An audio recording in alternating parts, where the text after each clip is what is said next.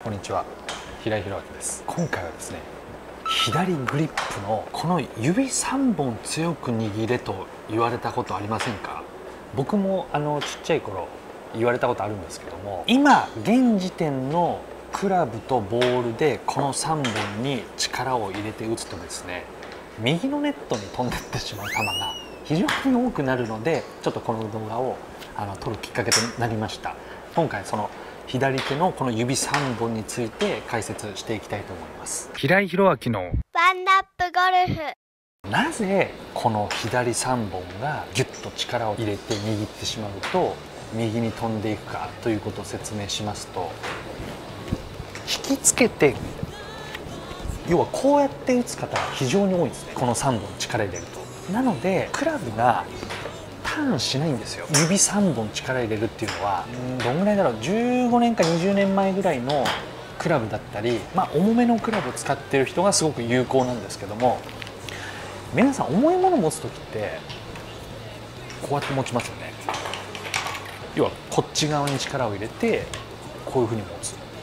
軽いものを持つ時ってどうやって持ちます？多分こうやって持つと思うんですよ。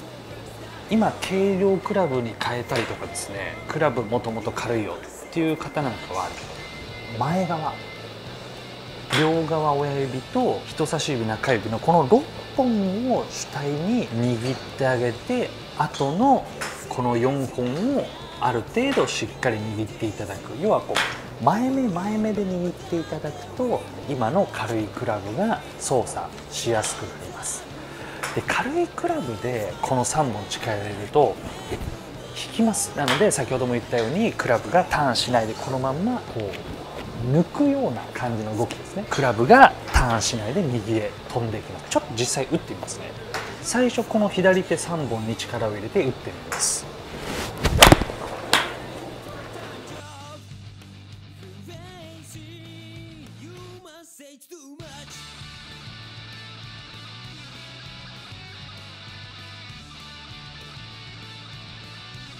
ちょっとこう引いちゃったんでちょっと体重も後ろにかかっちゃって右出ましたけどもで次にこの前3本右左で6本ですね。この前の3本3本に力を入れて打ってみます。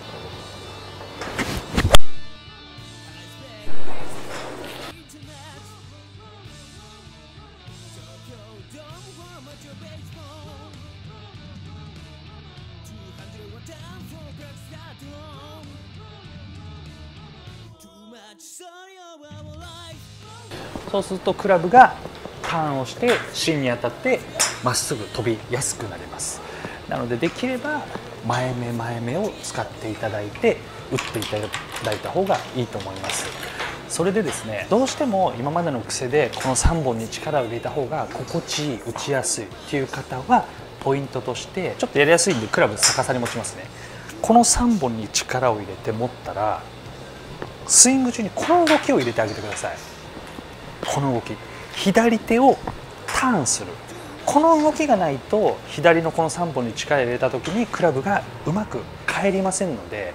できればこの3本でグッと引きつけるというよりは引きつけながらターンしてあげる。